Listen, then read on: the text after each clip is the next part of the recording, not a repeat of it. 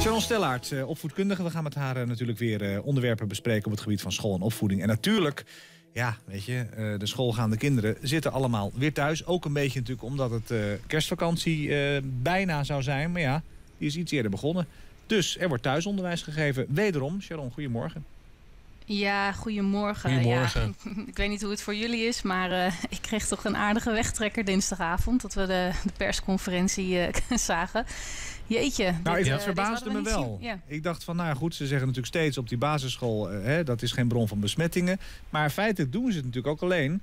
om het aantal bewegingen van de ouders eh, terug te dringen. Als je s ochtends bij de scholen kijkt hoe de ouders de kinderen wegbrengen, dan denk ik Ja. van nou, dat, dat ik denk dat daar misschien wel het probleem eh, ligt. Dat zeggen ze ook, hè? Ja. Ja, dat zeggen ze ook. En natuurlijk ook dat, eh, dat veel mensen toch nog naar kantoor gaan. En, eh, of naar het werk, of eh, zeg maar in ieder geval eh, de weg op gaan. Ja. En eh, dat dat veel meer is dan tijdens de vorige Het was lockdown. vandaag wel een stuk rustiger dan gisteren. Ja. Het jou ook op? Ja, Gisteren nog heeft steeds iedereen wel denk ik zijn, zijn kantoor leeg moeten maken en spullen ophalen, zodat ze vanaf thuis Ja, dat is het. vandaag thuis kunnen werken. Ja. Ja, ja. En, en de kinderen hoeven nu nog geen onderwijs eh, te volgen hè, online, want eh, het, het is gewoon vervroegde vakantie. Althans, dat is bij Nou, ons op veel school scholen gezegd. hebben dat wel, eh, ja. En ik denk dat het een heel wijs besluit is. Want eh, als we iets niet moeten doen, is het nu denk ik onszelf gek laten maken. Eh, dus veel scholen hebben gezegd, joh, we beginnen de kerstvakantie. eh, en dat is voor de kinderen gewoon vakantie. Zodat wij nog een aantal dagen hebben om ons in te stellen op het digitale lesgeven. Ja, want daar begint het eh, nieuwe schooljaar natuurlijk. Of tenminste, het hele nieuwe jaar begint daarmee. En ja, ik, ik zag het persoonlijk. We hadden natuurlijk al eerder in de uitzending gehad... wel over een extra weekje kerstvakantie. En kwam die dan ervoor of erna? Hè? Daar hebben we eerder over gesproken. Maar Mhm. dit, vijf weken dicht en dan ook de kinderopvang dicht. Wauw, ik, eh, ja, ik vond dat heel heftig. En ook omdat we ons ja, gewoon echt niet hebben eh, kunnen instellen daarop. Hè. En dat is wat veel scholen Ja. ook zeggen. Van joh, we hadden prima mee willen denken. Hmm. Ehm, een week ervoor, een week daarna, of misschien wel vier weken. Maar, maar had ons daarin betrokken. Want dit, eh, ja, dit viel ook echt zeker de scholen heel rauw op het dak. Ja, Ja. En, eh, en natuurlijk ook de ouders. Ehm, thuisonderwijs wordt er dan toch gegeven weer. Jij hebt tips. Ja. Ja, ik heb natuurlijk eh, tips. Want nou, wij hebben natuurlijk ook even de tijd nu om ons, eh, om ons in te stellen. Ja. Hoewel eh, ik wel weer twijfel van gaat het er echt van komen... omdat er nu in de Tweede Kamer weer wordt gesproken over... moet het basisonderwijs wel zo lang dicht? En is dat Mhm. nou wel terecht? En is dat niet heel risicovol voor kwetsbare kinderen? Mhm. Voor wie het afstandonderwijs toch minder goed uitpakt. Ja, ze Dus worden me onzichtbaar dan, hè? verbazen. Ja, en het is ook gewoon, eh, nou ja, het vraagt wel wat begeleiding. En eh, dat zullen heel veel ouders zullen dat gelijk met me eens zijn. Het, het werkt absoluut niet zo van je zet je kindje aan de keukentafel en je doet de laptop aan en het regelt zichzelf. Verre van dat. Mhm. Hè, kinderen hebben veel vragen, willen het verwerken. ehm, ja, nou, gewoon, er komt heel veel bij kijken. Eigenlijk zit je er als ouder gewoon het liefste naast. Maar dat, dat kan gewoon niet lang niet overal. En ook niet eh, alle ouders zijn daar even behendig in om, eh, om kinderen te helpen. Dus ja, op school heeft iedereen een gelijke behandeling. En thuis lopen de verschillen natuurlijk heel erg uiteen. Hè, of je nou een moeder hebt die eh, bijvoorbeeld eh, de, de pabo heeft gedaan... en naast je zit en alle sommen rustig uitlegt. Ja, of dat je een ouder hebt die zelf heel weinig onderwijs heeft genoten... en ook denkt, wat moet ik hiermee? Ja, Ja. dat- en, Ja. en die verschillen, lopen, die, die verschillen eh, zijn natuurlijk eh, heel groot. Ja. Ik hoor ook een noodkreet van, van mensen die zeggen van ja, ik, ik heb een kwetsbaar kind. Eh, dat, dat, dat vaart juist wel, als eh, vaart wel bij het Ja. feit als het naar school gaat. Wat, wat, wat, zijn dat voor kwetsbare kinderen dan? Ja, nou ja, ik, ik merk ook trouwens dat heel veel gewoon doorgaan hoor. Dus eh, dat bijvoorbeeld scholen voor speciaal onderwijs of kinderdienstencentra, waar bijvoorbeeld kinderen komen eh, met een autisme spectrumstoornis of kinderen met een ontwikkelingsachterstand die gebruik maken dus van een zorgvoorziening waar soms ook een stukje onderwijs bij inkomt, dat die open blijven. En dat vind ik wel een verschil ook met de vorige lockdown. Toen was echt eerst het idee van alle bijvoorbeeld medisch kleuterdagverblijven gaan dicht. Maar Mhm. nu blijven ze open. Eh, dus nu is de inzet wel heel erg om de zorg. En ook om het onderwijs voor de meest kwetsbare kinderen, zoals in het speciaal onderwijs. Om dat zoveel mogelijk eh, door te laten gaan. Dus ook bijvoorbeeld de dagbesteding voor mensen met een, eh, met een beperking gaan nu zoveel mogelijk door. Tenzij er natuurlijk een besmetting is op de locatie, dan worden die ook in isolatie gebracht. Ja, oké. Eh, maar dat vind ik wel een groot verschil, ja. ja. Nou, tips dan voor het thuisonderwijs. Ja, nou, tips. eh, mijn eerste tip is: ehm, verander wat je niet kan aanvaarden en aanvaard wat je niet kan veranderen. De eerste tip. Tip 2. Nee, maar even serieus. Ik zeg Ja. dat niet zonder dolle, want je kunt je nu als ouder helemaal gek gaan maken over alle dingen die er op je afkomen. Maar wat je niet kan veranderen, leg je erbij neer en kom tot rust.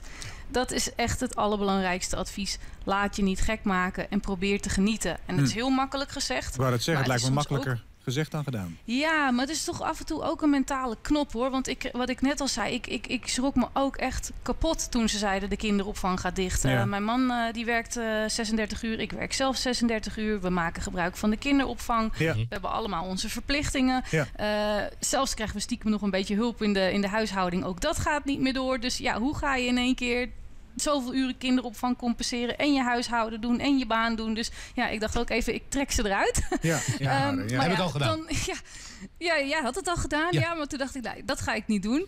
Nee, je moet echt gewoon denken van, nou weet je, het is weer een hele gekke tijd. Ik blijf rustig en ik ga er het beste van maken. En uh, ik zie het wel, ik laat de boel de boel. En uh, de liefde voor de kinderen gaat voor.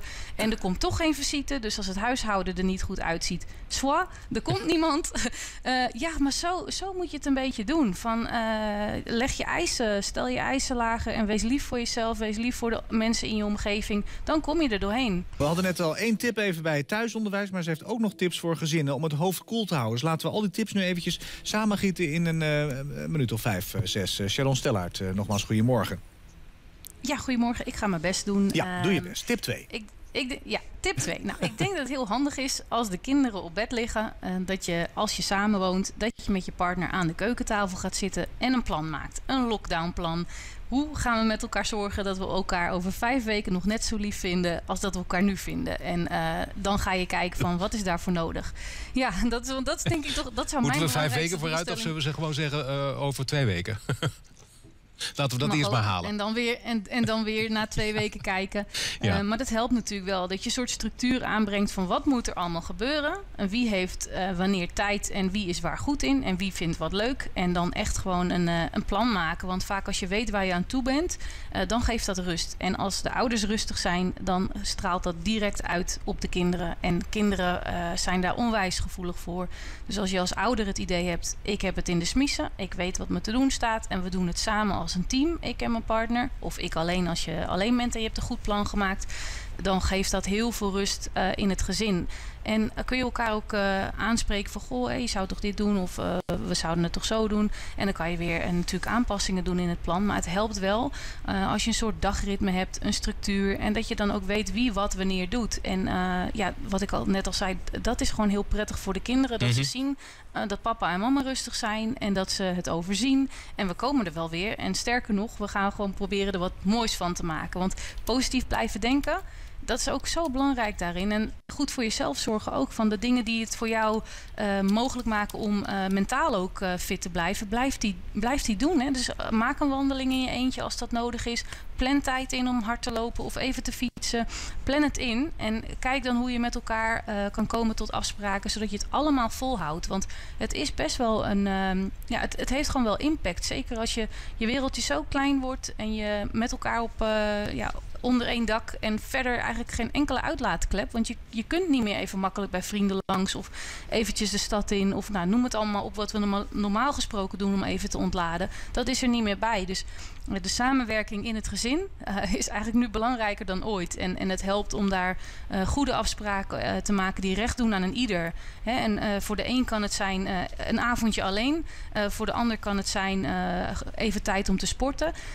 voor de kinderen kan het zijn af en toe echt uh, volledig de aandacht door samen een spel te doen. Maar zorg dat daar voor ieder wat in zit om, uh, om het vol te houden. Het zijn eigenlijk alle tips in, in één grote tip samengevat. Ja. Klopt. Dat is wat het ook is.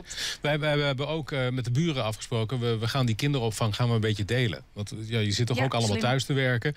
En ze zijn gelukkig ook allemaal vriendjes van elkaar met name de kleine kinderen, die kunnen van ja, de ene ochtend daar en de andere ochtend daar en de andere ochtend Juist. daar. Als je dat voor elkaar kan krijgen tenminste. Is dat goed ja, voor die nee, kinderen dat, ook? Is dat goed voor nou de kinderen? Ja, het is fijn voor kinderen om met elkaar te spelen. Ja, ja het is gewoon fijn om te kunnen spelen. En op het moment dat kinderen lekker in een spel verwikkeld zijn... joh, dan denken ze nergens meer over na. Dus als je dat voor elkaar kunt krijgen, uh, dan, dan helpt dat ook. En dat is eigenlijk onderdeel van zo'n planning. Hè. Ik heb dat ook uh, met een vriend. Die heeft een, uh, een, een, jongetje in dezelfde leeftijd als mijn zoontje. En we zijn ook met elkaar in overleg van... kunnen we dat op die manier met elkaar organiseren? Dan heb je allebei, als het goed is, een dag dat je twee kindjes hebt... en een dag dat je geen kinderen hebt. En dan ja, ben je toch productiever, denk ik voor je werk als je dat met thuiswerken. Ja, wat ik wou net zeggen. Ze kunnen wel zeggen thuiswerken, maar als jij thuiswerken moet en uh, er lopen twee kinderen de hele dag om je heen van mama of papa, ik heb een schaar nodig, want ik wil knutselen, of ik wil dit, of ik wil dat, of ik wil zo, dan gaat het dus niet. Nou, dan wil ik ook vragen. Is en het dat levert stress. Is het weer ook een extra spelbreker nu? Want van de, van de lente of van de zomer als het mooi weer is, kunnen de kinderen nog buiten spelen. Dat is, ja, het is nu niet heel koud, maar het is ook niet, het is ook wel een beetje grijzig en ongezellig buiten. Ja. Dus hè, de kinderen zitten nog vaker binnen dan tijdens die eerste uh, lockdown natuurlijk. Ja, nou, ik ben altijd meer van, uh, we zijn niet van poppenstront. dus ik ben altijd meer van, we gaan lekker toch naar buiten. Uh, en ik, ja, ik vind het nu alsnog prachtig weer. Dus ik, ja, ik, ben, ik zou me er zelf niet uh, door laten weerhouden. Ik heb gisteren ook een lekkere wandeling gemaakt. En even, weet je, voor, het is ook leuk voor kruip in de ogen van je kind. Hè? Bijvoorbeeld, ik woon in een, in een, een wijk, daar wordt gebouwd ja, mijn zoontje kan zo een uur zitten kijken naar, uh, naar de kiepwagens en naar de, en, en naar, de, naar de vrachtwagens die daarop. De, ik vind het zelf stierlijk vervelend. Hmm. Maar door de ogen van een kind is zoveel meer interessant dan voor ons. Nee, dat is ook wel zo. Ja, weet je. Maar ja, het is natuurlijk wel eerder donker. Hè? Ik bedoel, waar kinderen natuurlijk s'avonds tot een uur of acht in het licht en in de zon buiten kunnen spelen, kan dat nu natuurlijk niet. Hè? Je hebt om vier uur heb je ze weer binnen zitten. Ja. Ja, ik, ik snap wat je zegt. En toch is mijn uh, een hartekreet uh, zoek naar mogelijkheden. Want uh, wij zijn bijvoorbeeld ook s'avonds in het park gaan kijken naar alle verlichting. Ja, maar dan ga je zelf mee dan, toch? Ik bedoel, je laat toch niet je kind alleen in het donker buiten spelen? Nee, nee, maar ik bedoel meer van... het is nu ook een hele mooie tijd s'avonds... als je met elkaar een wandeling maakt langs ja, alle met elkaar. huizen. Ja, ja, ja met elkaar. Het, met ik heb het over je kind alleen. Die laat je zomers eerder even alleen met vriendjes buiten spelen... dan dat je dat nu doet. Dat was eigenlijk meer mijn punt. Uh, ja, dat ben, dat ben, ik met je eens, dat klopt. Ja, want dan zou je nog wat dingen voor jezelf kunnen doen... als je weet, nou, die kinderen hebben het buiten even lekker. Maar ook een beetje afhankelijk van de leeftijd natuurlijk. En waar je woont ook natuurlijk, hè? Ja, als je in een drukke stad woont, ja, dan nou, laat je ze ook niet zeker. buiten. Ja, ja. Nou, ja. Daar, zeg je wat, daar zeg je wat, Marco. Want dat is natuurlijk wel weer... Uh, de mensen met een huis en een tuin versus de mensen op een flat. En dat is absoluut, dat is absoluut waar. Dat, ja. Uh, ja, en Helemaal eens. Oké, goed. Dat maakt het moeilijk. maakt het moeilijk. nou, geniet van het thuiswerken, dankjewel. En uh, even denken hoor, wat yes. was een beetje En blijf positief. Volgende week ben je Volgende ja, week volgende week ben je gewoon. Ja, oké, tot volgende ja. week. Dankjewel, okay. Sharon. Doei.